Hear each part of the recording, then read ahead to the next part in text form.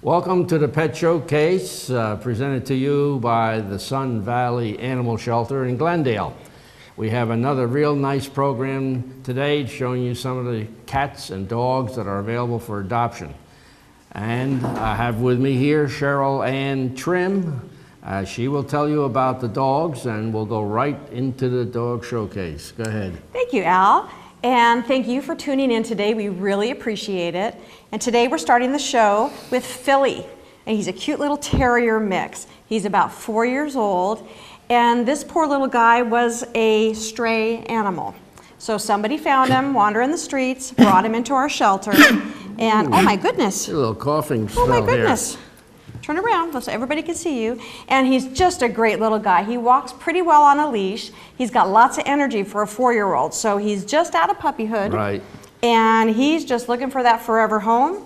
He's already been neutered, has his shots, microchipped. Um, if this little guy had been microchipped, he would have found his Right. home or his, his mommy and daddy already. So instead, uh, we have him. And um, he's, he's just a, a great little guy. He doesn't shed a lot. He'll probably just need some brushing. Mm-hmm. Uh, I don't think he's going to need professional grooming because I think this is it. I see he's intrigued by the cats that are roaming around here. He is. So who knows? Probably not good with cats. Well, but I like his little yeah. white tip on his tail too. He it's might be just cute. be friendly with the cats. that could be. uh, We don't yeah. know. His cage card says we're unsure. Is he uh, okay with small children, you think? Uh, I think he will be able to Right. be okay with small kids. Uh, he does like a lot of the other dogs here at the shelter, so he's very friendly. Yeah, he's a fantastic Yes. dog. What's, what's this coughing business, huh? Okay, Yeah, well, so thank come you on very out. much for showing Ask for Philly. He's a great little guy. That's a really nice animal. I like that dog. Yeah. Oh, look at this. Now this here's one. a beauty. Now, this is an This unusual dog. is Lucy. Lucy. And Lucy has a little bit of a story. She's a purebred dachshund, but she's a white and blue merle dachshund. What? And I've the never heard of merle is the pigmentation. All this white, most dachshunds Right. are not white. So it's the pigmentation, and they're born this way. Hmm. And with merle dogs, they can be blind and or deaf. And in Lucy's Right. case, she's deaf. Oh, she's deaf. So yes, so she can't hear a thing. This is uh, genetics. She was born Right. that way. Uh, she's three years old, and she was surrendered to us. She had an elderly owner that could no longer care for her. So she felt, I'm going to take her to Sun Valley Animal Shelter, where she'll get a really good home. Check this out. Oh, my she's gosh. loving this. so she's really, really sweet. And just because you have a deaf dog, that doesn't mean that they're that it's you can't handle them. Uh, they learn certain sign languages. I have a 14-year-old that's deaf, my dog, and Right. she knows certain commands just by me pointing or Sure. just giving her certain commands. So don't let that uh, make you say, "Oh gosh, I don't really want to adopt this dog." Great little dog, and. Her tail goes constantly. She's got Oh, a yeah, yeah, yeah. ton of energy. So Yes, don't let her size or her deafness uh, fool you. She's got a lot of get up in her go, let me tell you. Yeah, I got a cat that has gotten old and she is now deaf. Sure. And actually, nothing's changed. No, not at all. uh, I just have to be careful when I let her go outside. I stay with her because. Right. That and you have to make uh, some adjustments when you Yeah. have a deaf dog or a blind dog, for that matter. But they find their food with their nose. That's all that counts. That is true. That is true. They do. But she'll make a great companion Yeah. for somebody. So come on out. Ask for Lucy. She's three years old and she's just adorable. That's a very rare situation. is, and very a rare. Nice dog. Oh, yeah. now we have Mika. Mika. And Mika is, her cage card says she's a Jack Russell mix, but something tells me she's got a little more rat terrier in her than Jack Russell. So she's just about a year old, and once again, um, a surrender. The family couldn't handle her activity. Her activ- activity level is very, very high.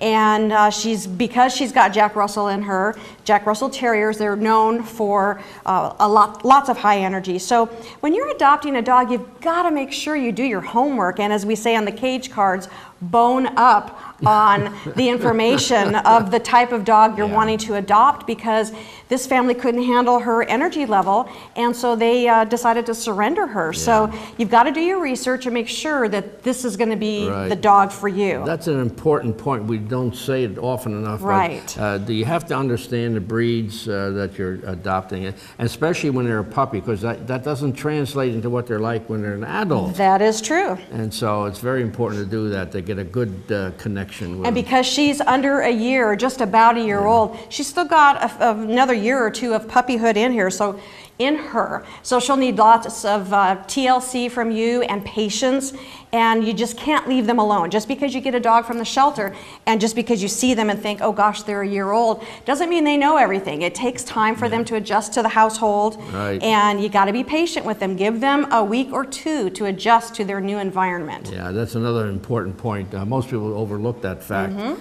And you really uh, have a problem if you don't understand it. Uh, Puppies are totally different than adult dogs. They take puppies are like toddlers. They take. Yeah. Uh, you've got to constantly watch them and supervise them. You can't let them be alone, or they'll just get into all kinds of mischief. And that's fun, too. So come on out and ask for Mika. She's just beautiful with that black head. I just Yeah. love it. Very Okay. distinguished looking. Very distinguished, yeah. Yeah. Oh, here comes a fluff ball. Oh, my gosh. Look at this guy.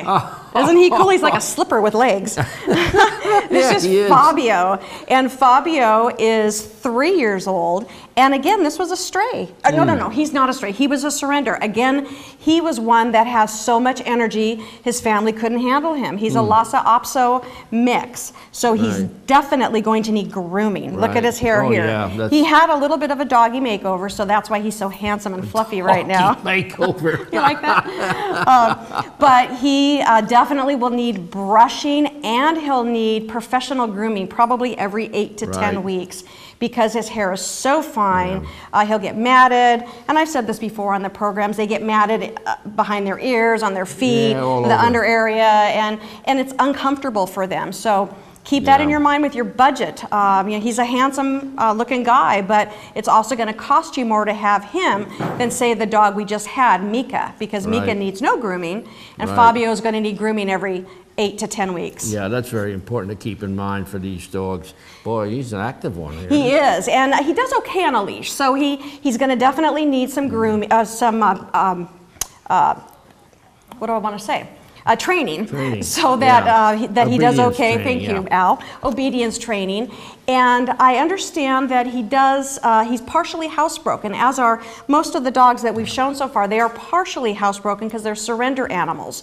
So that's a good thing to have some an animal that's Yeah. partially housebroken.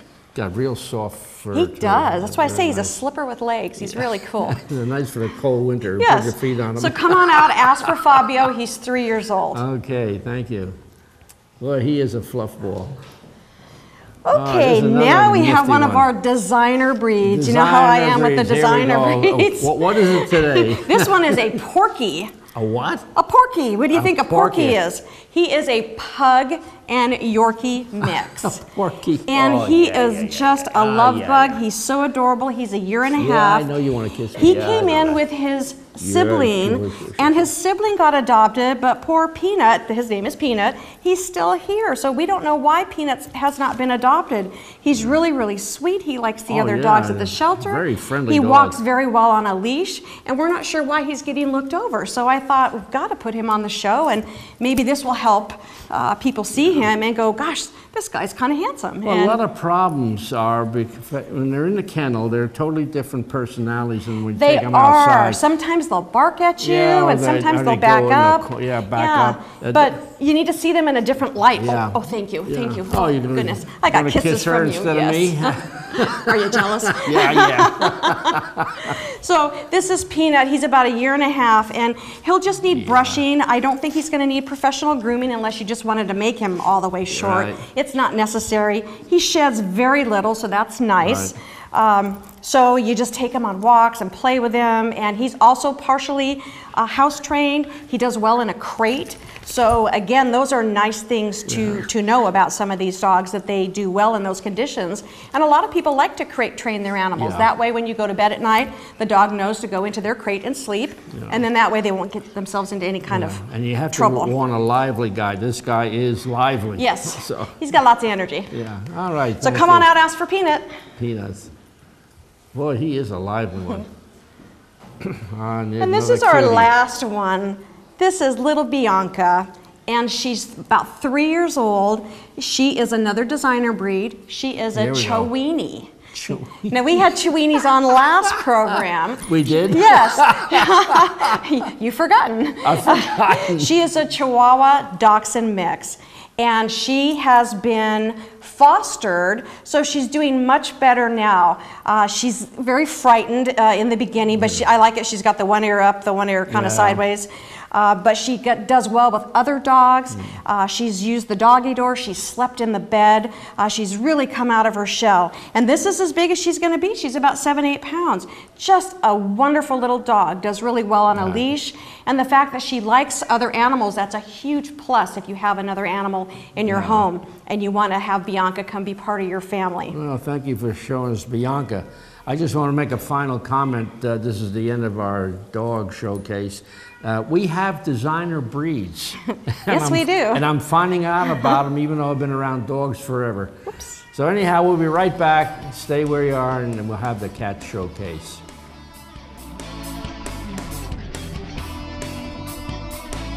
If you want to adopt one of the animals you see right here on this program, contact the Sun Valley Animal Shelter at 623 872 7941 or visit them online at sunvalleypets.org. So, I'm kind of new here, but I've noticed a trend. My human does this funny thing where she goes around and gets all my toys, and then she hides them in that basket by the door. You know, but it's always the same basket, and it's always in the, in the same place. And then she acts so surprised when I find them, but, you know, she's putting them in the same basket again. It's like, hello, that's where you put it last time. You were the worst at hide and go seek. Thank you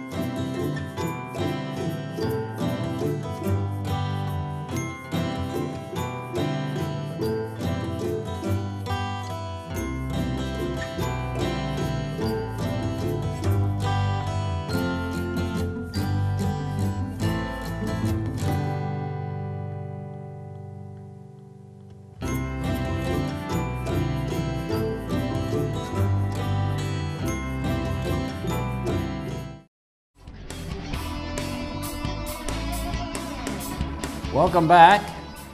Second part and third part of our program is involving a lot of cats.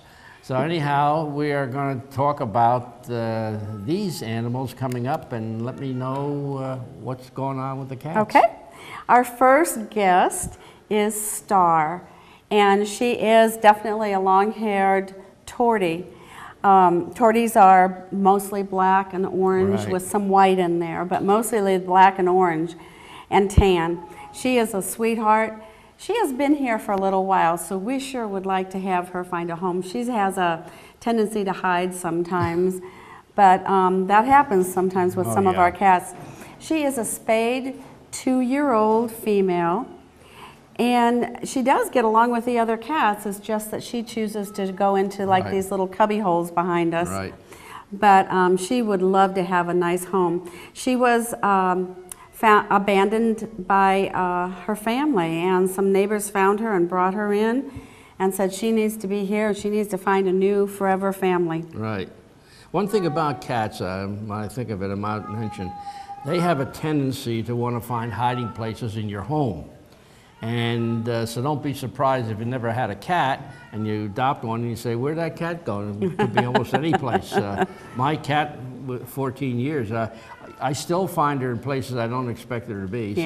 So that's not unusual. Well, she's a sweetie. But again, we have lots of cat trees and cubby holes for these guys to hide in, and of course, climb in and everything. So we try to provide um, just about anything and everything we can think of to make a cat feel at home until their people or their new families come Right. in. So she's very happy with you. Maybe you uh, should think about take- this. about- yeah. I Well, think so. I think you only have one cat, right? Yeah, don't yeah don't uh, don't remind people because I'm promoting two cats and then I only got one. I gotcha. Well, this is another spayed female. Now she's a year and a half old, just slightly a little bit younger. Oh, they Oh, come decided on, they didn't want each other. Okay. This is Lovey, and she was surrendered to the shelter also. Her family uh, had to give her up, but she's a beautiful, beautiful tuxedo, which means she's mostly black, and she has accents of white under her chin and her tummy, and then the four uh, black boots. Right. I mean, the four white boots. White boots, yeah. and that's um, characteristic um, of a tuxedo cat. She's very sweet. Now she's good size. She's bigger than um, bigger Right. than Star. But um, Lovey is about a year and a half old. She's been spayed, has her shots and everything. She uh, is good in the room. She actually came in with another cat. So we know already that Right. she's uh, comfortable living at home with uh, in a multiple cat Multiple cat house, family. yeah. So here, oh my Oh, this goodness one here is sakes. active, too. Well, you know what? Before we started the show, this is Milo, and Milo is a neutered male. He is actually a year old, and he's going to be a really good sized cat. Um, he is a black and gray tabby, but on, on white. So there's a lot of white here. He's a beautiful, beautiful cat. He was climbing all over these Yeah, I uh, noticed that. climbers back here, just having a gay time. Now we want him to be on the front, Yeah. on the front podium. Milo actually came in with another cat too. Uh, Milo is front declawed. He is one of our cats. We do look for declawed cats um, on surrenders because we hope that people um, that are looking for a new cat, if their preference is for declawing, we would much prefer that they choose a cat that's already been declawed. Um, We don't recommend it, but rather the cats come in right. that way, that's. well the- there's alternatives at, in your home that you can use like double face tape uh, squirt bottles or um, there's even those little covers, covers, yeah. that you can put on their nails and of course keeping their nails cut short and having lots of uh, cat trees and scratching Right. posts in your home will help a lot but he is so sociable he wants to greet everybody when they come in the door he's I guess maybe the designated greeter of the cat room. Designated greeter. We got So, everything here. Yeah, he's probably going to take over this whole podium. But he's wonderful. He's going to be a good sized cat, though, so you want to keep in mind, but um, certainly uh, per, a personality to fit. he's Yeah, going to well, he stay. is something. I know it. He's gorgeous. What do you say there? So he's big one years guy? old, You and gotta- his name is Milo.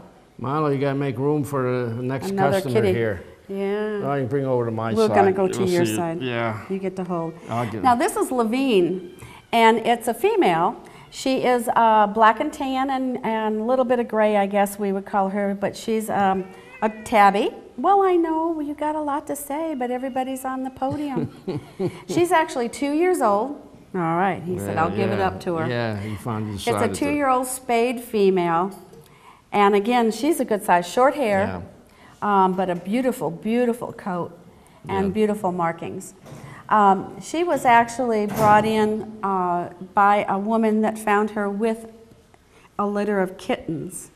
So Lovey, I'm Levine, actually stayed in our community or our quarantine room with her litter of kittens for quite a while. Mm-hmm. And then, um, as soon as her kittens and, and her could be weaned from each other, the kittens were spayed and neutered and put up for adoption. And now she's ready. She's ready for a nice home. Yeah, That's right, and she's, she's pretty big, so you have to keep that in mind. She's good but- size also, Yeah, yes. That's all right. But she is. She's very sweet. She was a good mom, and we had some just beautiful kittens with her, so we appreciated that. So our last, Okay, is the last cat here's- coming? let's take a look at. Now this is Scarlet, and Scarlet is actually about seven months old. Once they get over six months, we move them out of the kitten room and bring them here into the community room. Scarlet is a red, what we call a red tabby. And she is, um, like I said, seven months old. She's got some white boots here that we can show off. And she was found, and they, uh, the people couldn't keep her, but they um, brought her in so that we could have her. A lot of times we don't find female uh, red tabbies. They are unusual. There aren't that many. They're mostly males. Is that right? Mhm. Yeah. Right. Now, This is a beautiful animal. Yeah, she really is sweet. Yeah, yeah, sweetheart. How old is she was? She's seven months old. Seven months, well, yeah. Yeah, so She's a- after, after six months, then they graduate into this right. room. Hopefully, they're uh, much more demure and not so crazy, You- huh? Hope so, that they aren't going to pester the older But she'll be a cats. nice sized cat. Yeah. She's um, she's very very sweet, and she does get along with the other cats here. But she's she's a little bit past that little kitten stage, and uh, not quite the adult Yeah. yet. So A uh, tweener, as they say. huh? yeah, probably a teenager, right? Teenager, yeah. I guess. All Well, that right. was the last of our cats, but here come the kittens. Here come the little guys. Yeah. So this one is Tonka, and this little Siamese is called Mosey, and this little sweetheart over here is actually Etta. And um, Etta is a little tortie. She actually is probably going to be long-haired or at least medium-length hair. Mosey's going to be a short hair. He's actually a uh, probably a blue point Siamese. And um, the Tonka is actually a, uh, a tuxedo again. Tuxedo again, yeah. with the black Yeah, body she's and a then the tuxedo. white under the chin and tummy and the little white feet. So Sure. they're liking this. They're saying, hey, this is a new place to be. Yeah, this one should have been named Motorboat for her. She's purring like crazy. Exactly. These are all right around four months old. And like with all of our kittens, they seem to be found everywhere. And people um, grab them and bring them in here. Normally, these guys don't have moms. And um, we, we're very careful to make sure that they are eating uh, and getting along okay without having a mom Right. with them. But these guys would be wonderful additions for the holidays. That's right. They're Even- looking for homes. Even two or three of them at once. Yeah. So these two are short hairs. Oh, look at you. You want to just this guy just wants to go down. Don't you like me? he says he wants to play. How come you don't like me? So we hope that um, we hope that some of you will have some room in your homes for these little uh, these little playthings. They are so funny, and um, they'll be a wonderful addition to your home. Yeah. And of course, uh, at this young stage, they'll learn uh, to get along probably with dogs, other cats, and children. So they'd make wonderful pets. Yeah, so come on and look at our kittens overall. We have quite a few, don't Quite we? a few kittens, males Right. and females, colors, And fancy names. and fancy names, right. And by the way, you can change their names. That's right, you can change your You certainly name. can. I noticed uh, with cats, though, that we have, uh, you don't uh, give them fancy breed titles like with the dogs. We have all kinds of designer Oh, the dogs. designers, yeah. Well, now we do run across, you know, the Siamese, different, different uh, point Siamese. And of course, this is a tuxedo, so this it has a is- special is name. really kinda. wiggling. Yeah. Hey, you're supposed to He says he wants show to yourself to the audience. So our kittens are in a separate room, and you certainly can come in and see them. Um, the cats, on the other hand, you can actually come into the right. room and sit with them and spend some time with them. Um, if the kittens are your preference, then we have you fill out an application, and then after that, you can go in and sit. Okay. So thank you. We All hope to see you over the Get- Get holidays. these wigglers here in tow. Okay. All right. we always do three because that makes Yeah, you, yeah. keeps you busy. You know, when we do the cat showcase, uh, Tony here, she's, she's pretty slick. She started off with one kitten, then we had the Right. kittens, and then slowly evolved into two. Now we got three. Right. And I don't trust you entirely. win Probably next four. year we'll go to four. right. So anyhow, thanks very much for uh, talking about our cats, and that concludes our cat showcase. And uh, in about a minute or so, we'll come back with a very interesting program for you for the finale.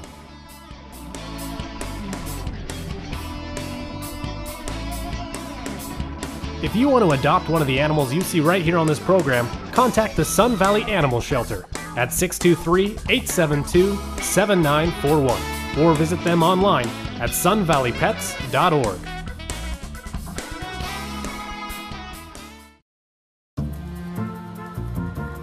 abandoned, and lost.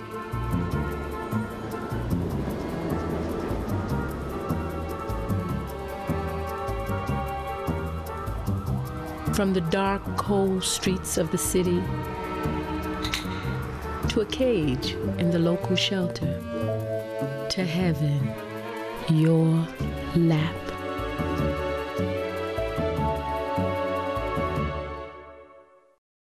If you're looking for a fun new friend, What a day. shelters are the best places to find one. You don't say. Uh-huh. There, you'll discover healthy, happy, loving animals Nothing but the best. waiting to become a part of your family. A person is the best thing to happen to a shelter pet. Be that person. Adopt. We'll always be a best of friends. To find out more, visit theshelterpetproject.org. Welcome back. I have a very interesting person as a guest today. Uh, many of you uh, may be aware of the fact that we've ar- arranged to have a hospital facility on our campus here, and uh, it is called the Sun Valley Hope Animal Hospital. And being the manager of that facility is Leanne Smith, and I have her here to tell you about nutrition and things that you need to know to have good nutrition for your cats and dogs. And so I'll let you take the program and I'll go appropriately as I may, and once in a while say a comment or two. So Okay. go ahead. Hello. Um, so there's no doubt that pet nutrition is a building block um, to our pet's health. Right. Um, there is several different types of pet nutrition, um, several different diets that I kind of want to talk about. One of them is your store-bought brand pet um, food, and then you have um, raw food diets, and then you have boutique foods, and then you have your specialty diets. Um, I kind of want to touch base more on your store brand foods and raw food diets and your specialty diets um, today. Um, one of the things I want to say is that your store brand foods are just as nutritionally sound as any pet food out there. A lot recently, we've been seeing a lot of pets, um, a lot of clients bringing their pets in for um, various needs, um, Right. claiming that they're grain-free, grain-free foods Right. having allergy problems, and you know they're switching to Blue Buffalo, more your boutique foods. Right. Um, a lot of internet hype on a lot of that, yeah, food. I yes. imagine it was, yeah. Yes, so there is. um, so I just kind of want to let people know out there that your store brand foods are just as nutritionally sound as any of your boutique foods Yeah, out as long there. as you buy a, a name brand, not some oddball brand, I think. Exactly. A lot of your Purina. Yeah, Purina, yeah. Purina, Iams, Royal Canin, Science Diet are more your traditional Right, foods. yeah. Um, they spend billions of dollars every year researching their diets and making sure that Right. every, they contain everything that the pet requires.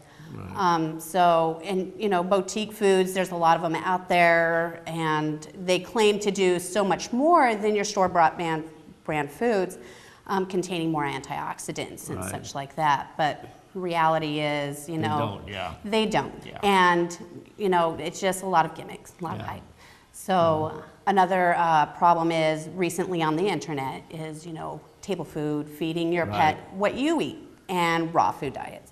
Um, again, not safe, Not not, sa- yeah. not safe at all, not nutritionally sound because you can't prepare a good quality diet for Right. your pet when you're cooking it yourself. Yeah, You don't yeah. know the mixtures that you need, you need your vitamins and such like that.